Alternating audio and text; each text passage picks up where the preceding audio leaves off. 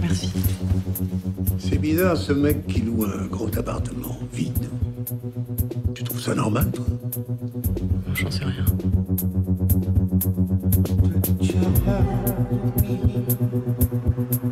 Tu dors pas?